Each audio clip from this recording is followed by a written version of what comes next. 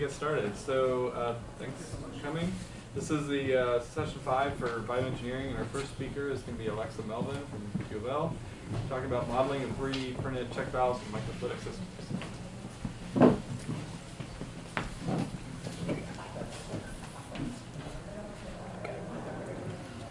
Uh, hi, so I'm going to be talking about modeling uh, 3D printed check valves for microfluidic systems.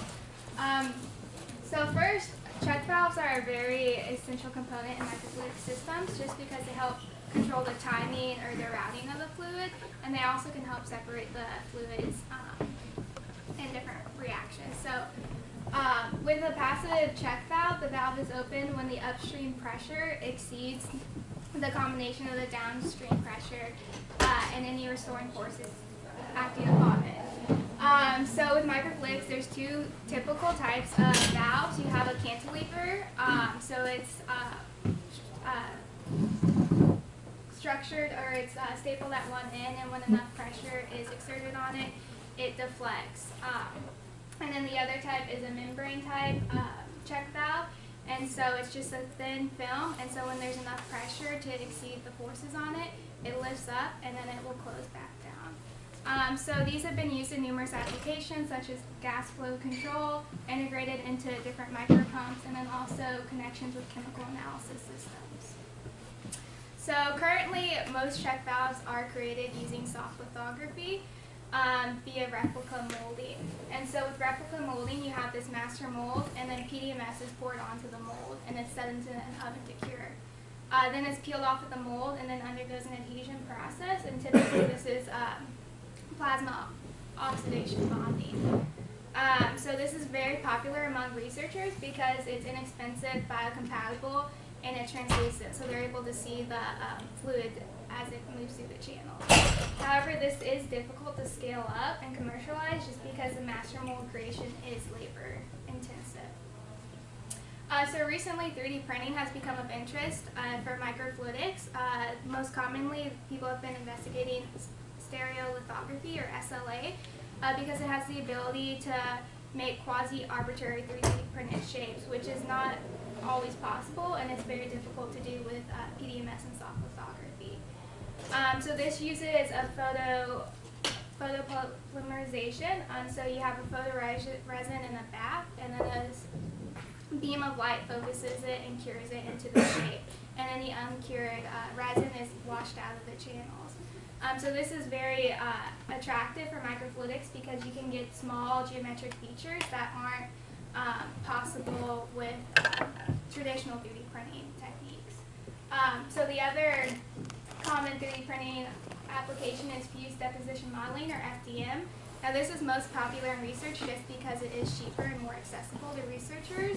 Um, and it uses thermoplastic materials that it uh, takes a filament and heats it to a specific point and then it deposits the material layer by layer. Um, however, most research has been focused on using SLA, um, and to the best of our knowledge, no research has been done to investigate the use of FDM to create micro uh, valves. So this study was performed to analyze the range of valve thicknesses necessary to promote forward flow using commonly available 3D printed filaments, materials using the fluid structure interaction module, and COMSOL multiphysics.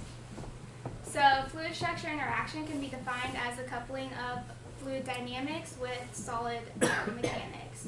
And so we use an arbitrary Lagrangian Eulerian or ALE formulation, and so this allows the mesh to be modeled as a solid mesh to track the movement of the fluid. Um, so we used a monolithic approach, meaning that both the structural mechanics and the fluid dynamics were solved at the same time to give a more accurate representation. Um, so this is just an outline of the governing equation. So first we set up the fluid flow using Navier-Stokes and solid deformation using a linear elastic model. And so those were coupled together and applied with a moving mesh. And then we applied our boundary conditions, so both fluid forces and then the fluid velocities onto the structures. And then lastly, it was solved and this iterated until a solution converged. Uh, so our model setup. So we did a very simple uh, microfluidic structure just to um, figure out how the fluid structure interaction works. Um, so we have our inlet and outlet. Uh, we have our actuated valve, which is in green, and then our valve stop, um, which is just a restriction. So if there is backflow, the valve will hit it and fluid will uh, re-enter the previous channel. Uh, so we tested six different materials, ABS, PLA, nylon, PET and PDMS, which was used as our baseline since that's commonly used for microfluidics. Um, so we, since it was a short channel, we only did 100 micron uh, length. We uh, created the velocity, the inlet velocity, as a fully formed flow um, to get an accurate representation of how the valve would deflect. Um, and then to, in order to have the boundary connect, so the actuated valve to the valve stop, we used a viscous wall approach. Um, and so that just means the valve stop was modeled as the PDMS or uh, really viscous fluids so the two um, valve and the valve stop could connect. Um, so we used a time-dependent study and analyzed the valve deformation from 0 to 0.75 seconds. Um, and this was the point where all materials reach the steady state opening phase. Um, so up top, you see when the valve's completely open, or when the valve's closed, there's no flow moving. Um, and then at 0.7 seconds, the valve actually deflected about 6 microns in this image. Um, and then the picture here on the right is just showing the boundary contact. So there's no fluid flow, but there's a lot of stress when the uh, valve actually hits that valve stop. Um, so looking at the different materials, um, so the TPU followed that same similar deformation pattern as PDMS.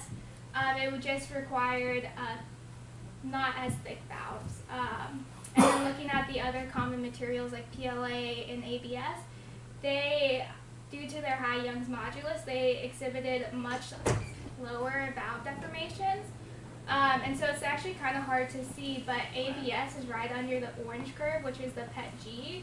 And then the nylon and PLA follow that same um, deformation pattern. And so we were only able to achieve about a four micron uh, valve deflection. And by a thickness of 12 microns, there was no um, valve deflection at all, so no flow could uh, be pushed through the channel. Um, so since the TPU followed that same deformation pattern as PDMS, we went ahead and did a 3D simulation because in the 2D simulation, you have the infinite volume of fluid, and so we wanted to contain the fluid and get a more realistic um, model of how the valve would work in the system. And so with the 3D uh, simulations, we found that the deformation was actually slightly increased, and so we were able to achieve uh, higher valve thicknesses while still promoting that forward flow. Uh, so in conclusion, materials with a significantly low Young's modulus permit the adequate flow um, actuation of a valve at 70 micron per second inlet velocity. Um, the TPU exhibited similar deformation when it was compared directly to our PDMS baseline. Um, and this demonstrated the use of potential FDM filaments for microvalves. However, this is dependent on the current resolution of FDM printers, so most printers can only go down to about 100 microns. Um, but they are currently uh, working on developing high resolution printers. Uh, we have one in our lab that can reliably go down to 50 microns, and they're claiming that with the new firmware update, we could potentially go down to 20. Uh, so future work is optimizing the check valve geometry to realizable 3D printed features. So we've actually started working on this in our lab and we've been able to print a couple models and start testing them as well. Um, we'll also evaluate minimum flow rates required to open check valves for a variety of designs, and this includes interdigitated arrays and tapered structures, but then also investigating something like a biomimetic leaflet valve, kind of like a heart valve.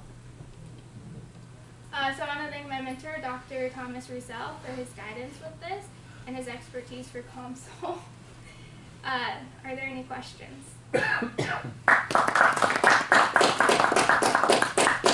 yes. So have you considered uh, other valves? Because you know check valves, you know you have to worry about deflection, all that stuff. Uh, but think if you think back, you know, uh, a ball and cage valve or something like that, it doesn't need any deflection of any structures. It's purely based on solid structures and based on the flow that ball can move in a ball and cage valve. So have you considered 3D printing some of those? I understand the resolution is not there, but that way you don't have to worry about deflection and all of that stuff, and you can 3D print it in any direction that you want as long as you can 3D print a ball or put a ball in there and 3D print a cage.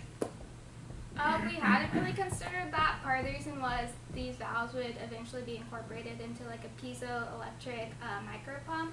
So it goes into our larger system of our sample preparation module. Will it will allow us to use like squeeze the manifold to allow the fluid to go instead of using a syringe pump to promote the flow. But a ball, uh, ball and cage valve, it still has very low. I mean, it, it was used as heart valves, and so the pressure difference that you need to actually move the ball in a ball and cage valve is not that much. My only comment would be to release the ball, right, so you can actually um, 3D print things Mm-hmm. uh, interiorly with very, um, uh, very small uh, cross-sectional area connections. You can figure out how to release that little piece in the middle of the channel, so I think it's something that that we could. But She's actually made a few of these valves on the hundred micron scale or something, That's seems to work pretty well, so of course, we're limited by the resolution. Yeah. So you, I assume we're modeling water or some basic solution. Does the viscosity have an effect here? So if you were using a highly viscous fluid, would you have different, um? Uh, I think I we did a couple simulations with uh, viscous related to blood, um, but we mainly did it related to water just because initially it's going to be used on diluted plasma. Um, but I think it did affect the deflection. I think there wasn't quite as much, um, but that's definitely something we need to investigate. more. Is it- uh, is the question? Sorry. Uh, so I guess some of the materials you were pointing out, uh, those were FDM materials, right? Yes, Okay, so not not SLA. yes. And I, I think one of the concerns with SLA is it's not biosafe anyway. So yeah. It kind of crumbly from what we've, you know, the smaller the resolution, the more kind of, or, you know, powdery it gets, it kind of disintegrates when it's really thin. Um, is there, so you modeled hundred micron channels, but, um, if the channels were much larger or smaller, would that affect the, uh, do you think that would affect the deflections? Uh, yes, so, um, smaller, you wouldn't necessarily have to have as much, uh, as a high a flow rate just because there's gonna be more pressure exerting on the valve. Um, and like Dr. Roussel said, that we were starting to test, um, with a hundred micron valve, so our channels are bigger, um, and so we're able to do a higher flow rate and still get that deflection. So it kind of a trade-off between your resolution and, um, your flow rate. All right, thank you. Okay, so our next speaker I'll introduce, so he doesn't have to introduce himself, is uh, Dr. Roussel from U of L, and he's talking about development of proportional valves for respiratory training system run force.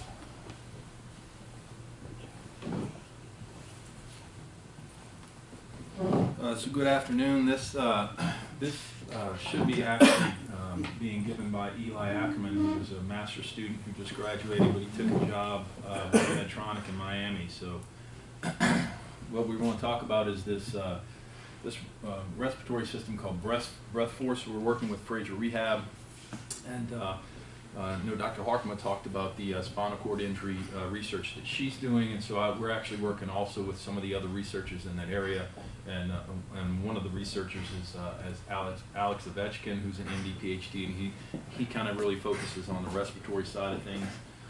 So we talk statistics a little bit, you know, uh, uh, Dr. Harkema probably talked a little bit about the statistics of, uh, of spinal cord injury and, you know, vehicular accidents are pretty much the number one cause. And uh, we know all of the bad things that happen. Uh, severe SCIs that occur in the cervical region have, have two real deleterious effects on physiology. And it really has to do with breathing and some, to some extent because of that cardiovascular.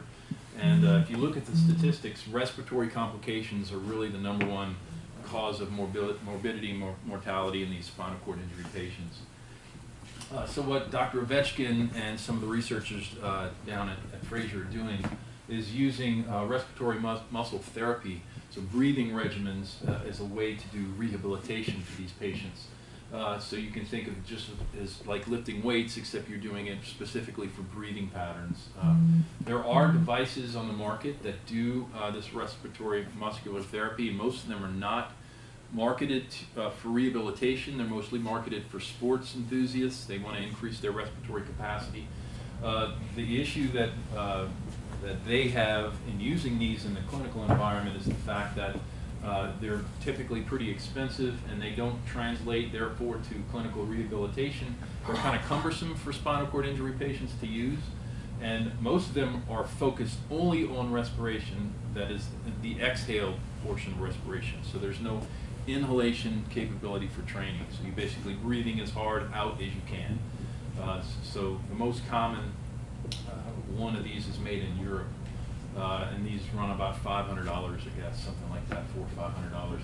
Uh, so what uh, we were tasked to do uh, by another master's student was to develop this portable system to provide this therapy that they've developed. So they have a whole um, a series of steps that they do to do this therapy for the patients in the clinic.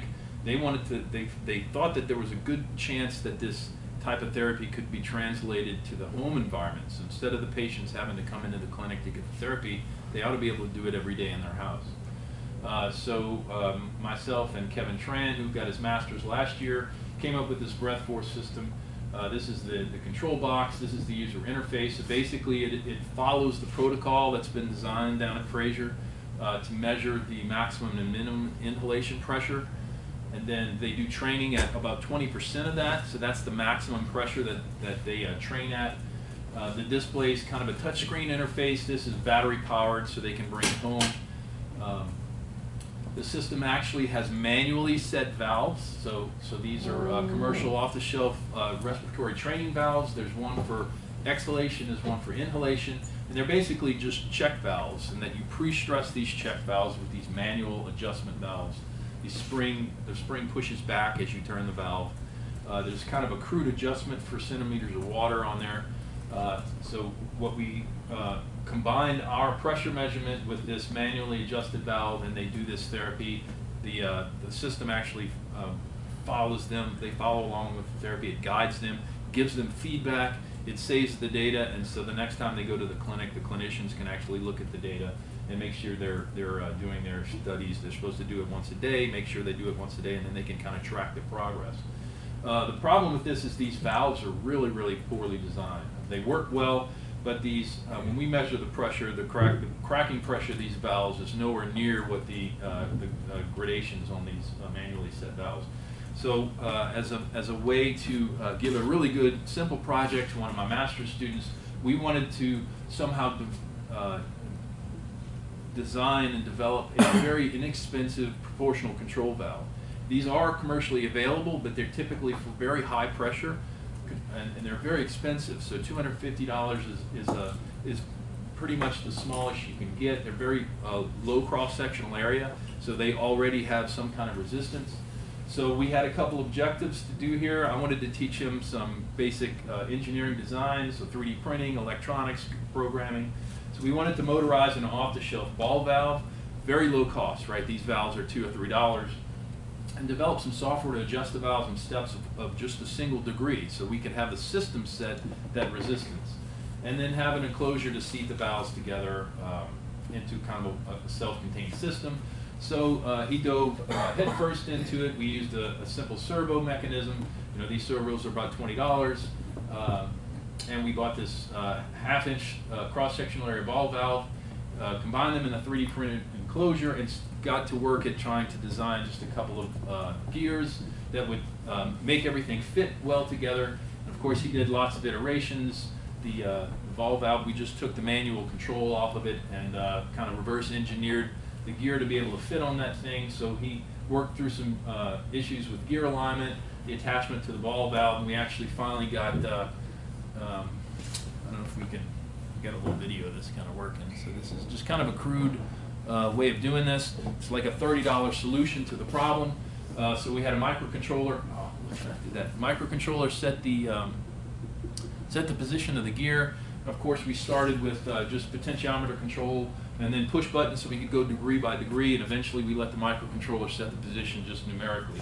Uh, final gear ratio was about 3.2. This actually worked pretty well. We were kind of surprised because that ball valve is designed for 100 psi, and it's really, really hard to turn manually. Uh, there really are no low pressure uh, ball valves. It's really surprising that none of those exist. Uh, so we developed some software. We had to come up with a benchtop uh, mechanism to actually test the, the, uh, the valve working. So this is kind of a, a crude setup. So it vents to the atmosphere here. We've got a pressure sensor right close to the inlet. And then we just have a, an air compressor that we can close the valve, set the, the pressure, uh, the static pressure starting with uh, for some range. Now, these are higher than, than physiological. Um, you know, PSI, one PSI is pretty good. If you can blow one PSI, that's great. Um, but we did uh, wind up with about a single degree valve position steps. Now we could have gone to a much bigger gear to get that smaller, but we wanted to kind of keep it uh, uh, relatively small. And a couple of different uh, mechanisms for once we reached uh, constant flow, how long do we wait before the uh, valve position is changed? We did some benchtop tests, and we also had a, a, a just a, a human test subject just to kind of do some regular breathing cadence just to see if we could capture that data. And so we can see that uh, for, we're looking at data here that is uh, uh, constant uh, initial flow, and then we step the valves in, in single degree in increments, and you can see that uh, it does take four or five degrees before we actually start seeing a pressure drop. And if you have a low uh, initial pressure, the flow rate's kind of small. So I'm not sure that the pressure sensor that we're using, which is a physiological range pressure sensor, is kind of adequate. I don't, I, I, well, it's kind of large um, compared to physiological pressure sensor ranges. We might need to uh, get one that's a little bit more sensitive, but we do see the patterns generally that we uh, see. So some of the steps were 10 second inter uh, intervals, increments between uh, changing the valve position and then sometimes longer. But we do see a little transition issue, so the valves don't always open by single degree, and that just has to do with the uh, kind of, it's not the best uh, gearing uh, connection. Uh, there's some issues with that still that we need to solve. Uh, and then we, if we look at the data for uh, some volunteer, we've got a lot more data on this now. And the colors aren't showing up here, but the large peaks are uh, when the valves um, closed. So it's, it's about 10 degrees, I guess 10 degrees open from fully closed, and then 30% open, so you can see the max pressure for that cadence changes with the ratio. And that's really what we wanted to see is whether or not we could actually open the valve in a small enough increment to get that resistance. So that's what we, we're really happy about. So still have a little uh, motor jitter. Uh, it's hard to perfectly position those uh, gears to where you don't get that, uh, that jitter.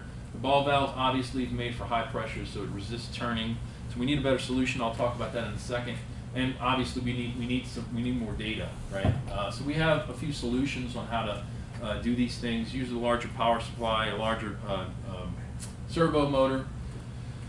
But what we've done is we've actually moved on from that ball valve and we've designed our own little butterfly valve. So this is 3D printed. Uh, I have the, the version here if anybody wants to look at it. So we use uh, spray gasket material and we're starting to integrate that into our system so we don't have to use that uh, very high resistance uh, uh, valve. So uh, some of the future work is we want to eventually develop this feedback algorithm so the system software based on the maximum uh, exhalation, inhalation pressure, and the training uh, pressure, we can have the system automatically change the valve position to maintain that resistance. So no matter how, how hard you blow, you'll never go above that uh, training resistance value. So that's kind of where we're headed. We actually have a few companies that are interested in licensing the technology. That's a recent development, so we're pretty uh, excited about that. Um, so these are everybody that's worked on it. Uh, Kevin actually got his master's and went to work for Dr. Ovechkin downtown at Frazier, so I'm pretty happy about that. All right, any questions? That's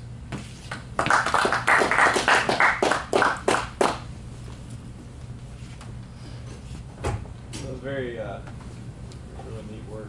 Um, one thing I'm curious, a little bit of maybe devil's advocate here. So, uh, first of all, are these is this covered at all by the insurance or anything, or they're basically paying out of pocket as Um, patients? So right now, and actually last week I had a conversation with Chen downtown. He wants me to make about 30 of these for all the patients. Uh, so that's a good question. I mean, we- we're trying to, to build something that we probably could have made for $50 or $100. You know, the point right now is just to get the patients to be able to bring something home. So the clinic wants to have these, a cache of these things, and when they come in and have a new patient, where you're going to do the therapy here, but when you go home, take this and do the therapy every day. So at, at this point, um, we don't have plans to commercialize, but we do have uh, a feeling that some of these uh, companies that have the, the you know, the, the system's already there could incorporate, Right. if we develop this algorithm, Yeah.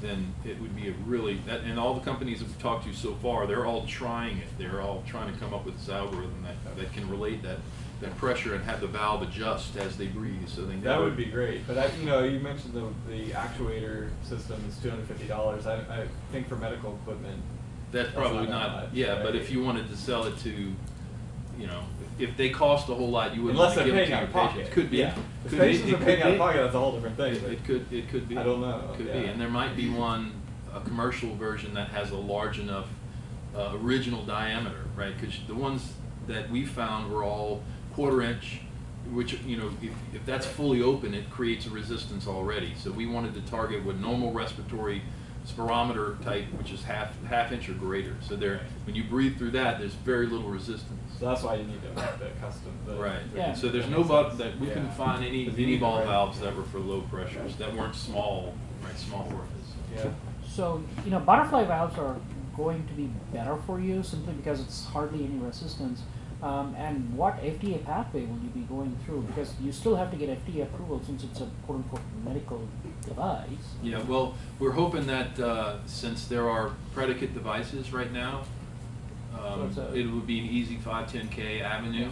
Um, simply because we're adding the feature of being able to do inhalation as well. So what, what's not shown is there are filters on the system, so there's, you know, you have a front end that's this disposable two dollar, um, mouthpiece that you can throw away on, on both ends actually, so there's no humidity that gets into the system and it's, So right now, um, you said there's a manual adjustment for the resistance. Is that how how That's is this determined? You know, how do they decide which resistance to use? Is there a So in the, in the original system, uh, the first step that they do is they record their maximum pressure, so they, they close the valve completely. I think they open it one, one degree, blow as hard as they can, and then they set the resistance at twenty percent of that pressure. And so the, the, the manual adjustment valves actually are graded in centimeters of water. So they set that dial to twenty percent of whatever their maximum is, and that's where they train at. Yeah. So ideally, you'd be able to automate that. Correct. You measure. it. You measure the max, and then the valve is always gonna open to where when you're blowing, it ne- you never exceed that pressure, right? So if you blow hard, it's gonna open the valve until you're breathing right at that set pressure, and, the- and the valve is automatic, always being adjusted. All right, thanks. Thanks. Yeah, appreciate it. Oh, do you have a question? Oh, sorry. I was wondering longer term, Yes, how are the yes. patients evaluated to see if it's actually helping? Uh, so, uh, what the software does is it saves that maximum and minimum exhalation pressure, so that's kind of the trend they wanna see, cause they're gonna do that once a week or twice a month, and they track that maximum pressure, so as they recover, that, that, and and I'm showing you that data, but the trend is dramatic of, of how hard they can So- blow and how deep they can inhale over time as they do the therapy. So your collaborators are collecting this data? Correct, That, was- correct. that's, that's very valuable. correct, Yeah. yeah. But if you can maintain that stable resistance, probably that data will be more consistent. Yeah, that's what we More hope. Yeah, we hope that, that, uh, you, know, we, we want them, to, when they're training at twenty percent, then we want them to see twenty percent and not breathe too rapidly and, and experience a higher pressure, right? That's what they'll see if they don't breathe at a regular cadence. They'll see a higher pressure if the valve's at a particular position. But the system ought to be able to relieve that pressure just enough to where they don't exceed that target training. So why do you think no one has come up with this before? A simple system that's cheaper? I, I, really, I really don't know. Uh, we've talked with a couple of the companies that sell the products now, and, um, they really don't market it for, for respiratory therapy for, for uh, spinal cord injury patients. It's really for, for athletes. and they only, they only target uh, exhalation, no inhalation, which is the dive, training the diaphragm. So I think that's why they're interested, is because they didn't, they haven't thought about the medical side of it.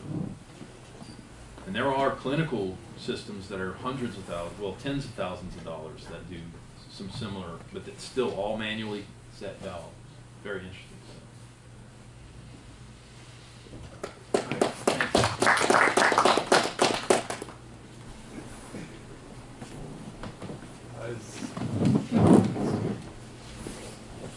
Great. So our next speaker is uh, going to talk about uh, can artificial intelligence predict impulsive behavior? And Josh Karnstein, did I say that? That's not. Oh, I might. Maybe I. Yeah, you're for it. Do we have a speaker? Maybe not. Is, um, Is Singh here? Jashkar Singh, can artificial intelligence No. predict impulsive behavior? I think you are next then. Yeah, I guess you are. Sorry. Yeah, we're missing one. All right. You want to introduce us? Yeah, so instead, in lieu, in lieu uh, we have uh, using 3D CNNs and local blood flow information to segment cerebral vasculature. And this is Heba that.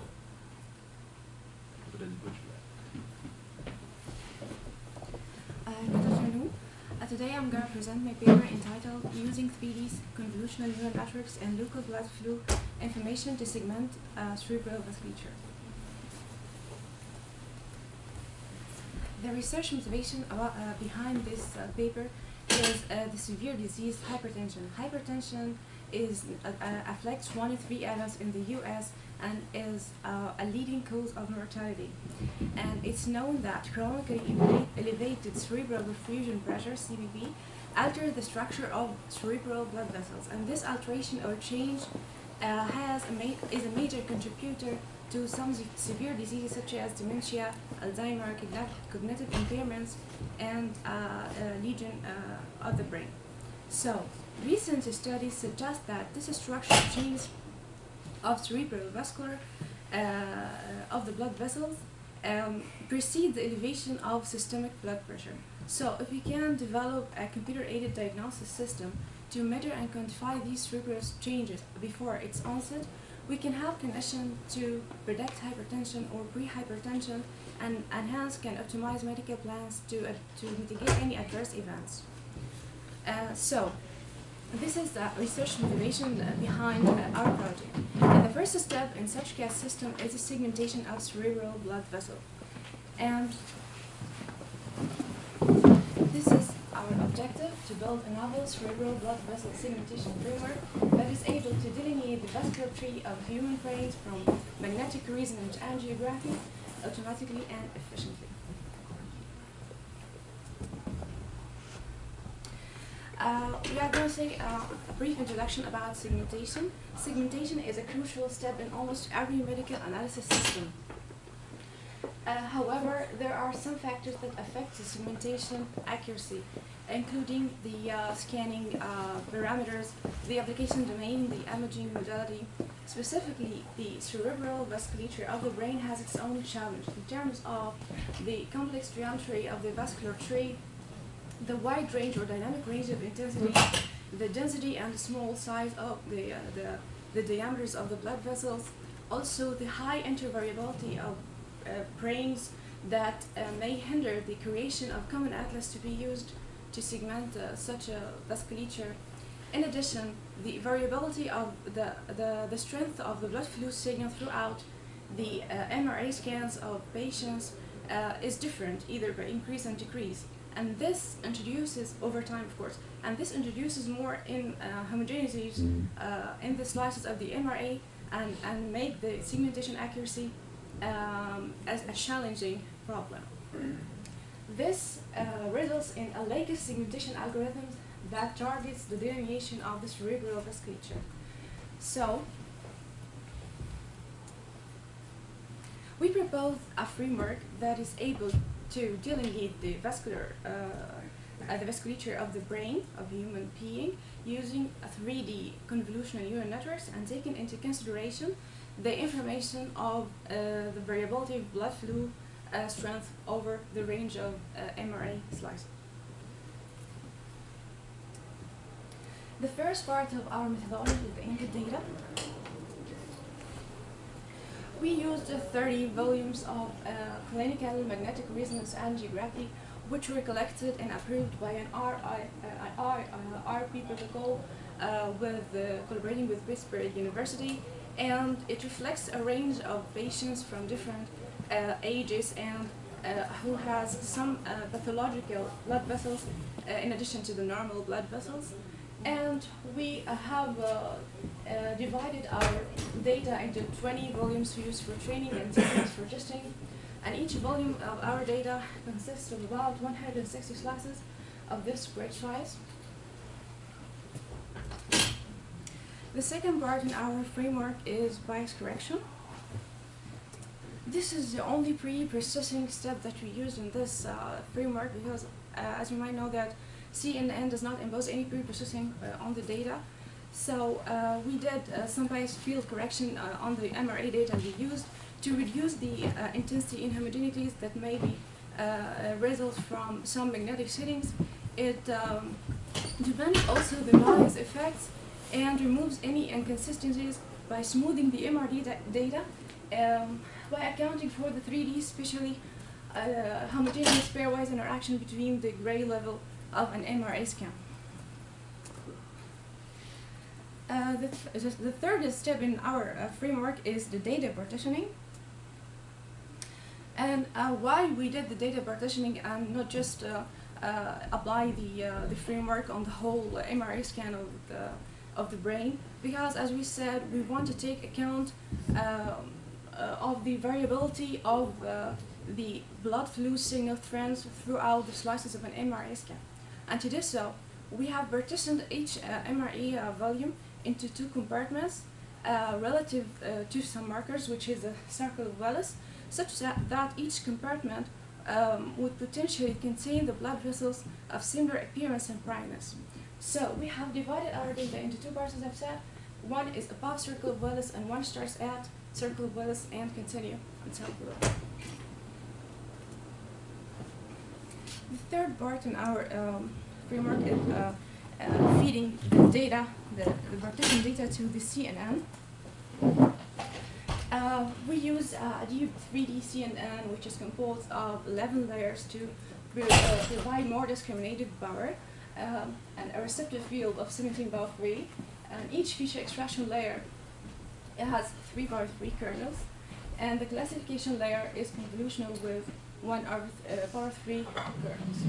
The proposed approach takes uh, adjacent image patches and densely treat them into one pass of the network. Uh, also, it processes the input image at multi-scale to incorporate um, much local and contextual information as possible to enhance and enrich the segmentation process. And uh, generally, this uh, approach works in two components. The first component that takes the uh, MRA data and produce a highly accurate segmentation or soft segmentation maps, which in turn uh, be fitted to the second component, which is a 3D fully connected uh, conditional random field that uh, works on these data and uh, removes any false positives and produce the final hard labels. Um, our experimental results here, we have got gold standard ground truth for the 30 volumes of data, which were, were delineated manually by a medical imaging expert. And we have used a efficacy evaluation metrics in terms of Dice similarity coefficient and sensitivity and specificity. For the quantitative results, we want to validate our hypothesis that if we take into uh, consideration the variability of blood flow throughout the brain, uh, the slices or the range of slices of an MRA, we could enhance our segmentation. And to do so, we have conducted two experiments. One is global and one is local. The global, where we fit into the 3D CNN the whole volume or the whole MRA uh, scan without any partitioning. And the second, or what we call a local, is to present, as proposed in our framework, the partitioned data. And uh, after doing so and completing the results and, and, and getting the vascular tree extracted, we have these uh, values. And as you can see, uh, the local experiments outperformed the global in terms of Dice similarity and sensitivity. And here are some of our quali- qualitative results. To the left, you have the original slice, and to, uh, to the right, we have the local uh, uh, below circle of Willis slice, and in the center, we have the global. The segmented uh, blood vessels are overlaid in red. I'm not sure if you, if you already see it in clear or not. And the enhanced, um, the enhanced uh, segmentation is contoured in green. For example, if you want to compare what we have in global and local, if we can say this, you will notice that we have more continuous uh, blood vessel than this. We have holes here in between in the global. And locally we have more continuous and also more points to be detected. Uh, here we don't have any points or voxels detected, and here we have some detected. The same also happens uh, the local above uh, circle of Willis. We have more continuous and more vessels uh, detected the local uh, experiments than the global experiment. So in conclusion, we have uh, proposed a novel 3D CNN uh, based segmentation framework that takes into account the variability of the strength of blood signals and treble blood vessels over time, and uh, we, the local experiments we have proposed outperforming the global one. And of course, this effective approach would have a good impact on any further analysis uh, or diagnosis uh, for hypertension. Thank you.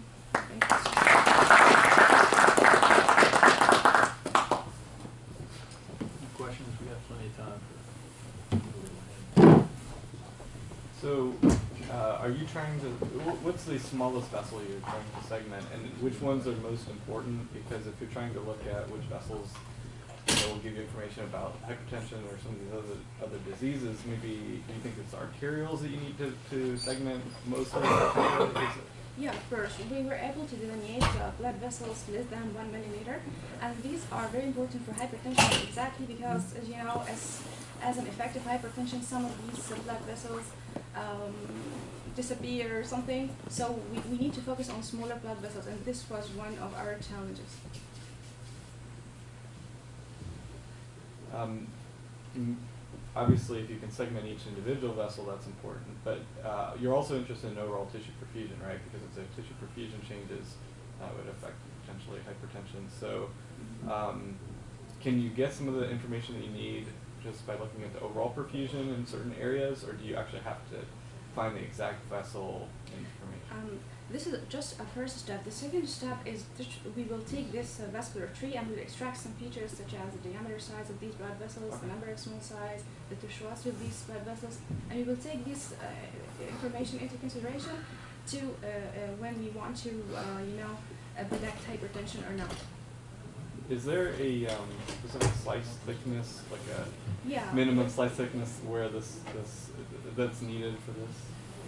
Um, or, or I should say maximum. Uh, if if it's too, if the slice thickness is, is too large, does that make it more difficult to segment multiple slices together? What is that resolution? Yeah.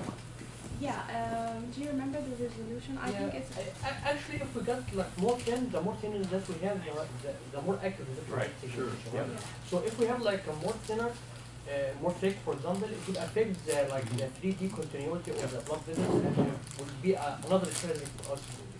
But here for the data that we have, it's uh, 10 uh, Okay. resolution, and I think it's 0.7 millimeters, something like that.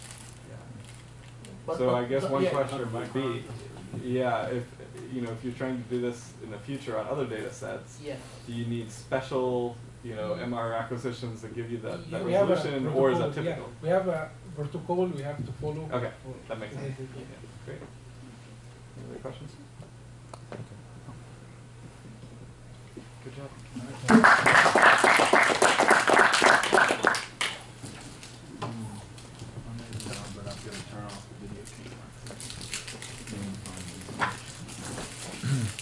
so it looks like our next speaker will be